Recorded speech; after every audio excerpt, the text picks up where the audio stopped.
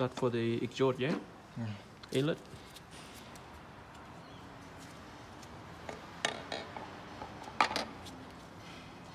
Okay, and the cap.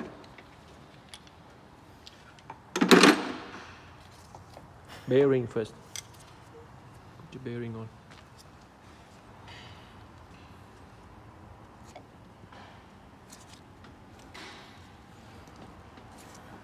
Hit, make sure it's in the center. A little bit. Hit a little bit.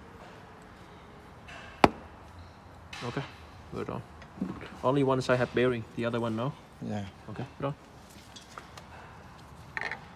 Alright, it is uh, exhaust camshaft.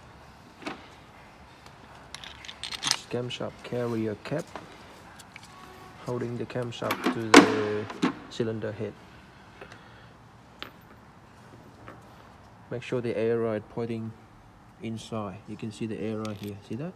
Yeah.